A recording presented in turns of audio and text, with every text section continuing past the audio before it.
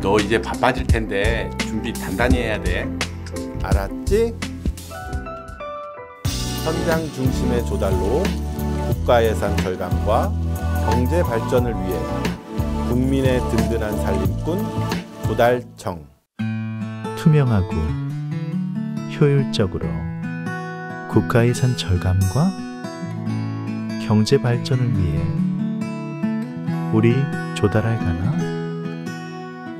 국민의 든든한 살림꾼 조달청 머리 아파. 맞다. 조달청.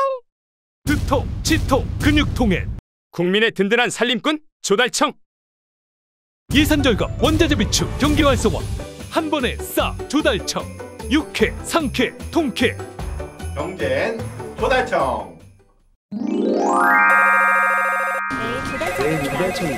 우리나라 제품들 우수한 제품들이 많습니다. 진짜 혁신적이고 좋은 제품은 어떻게 찾죠?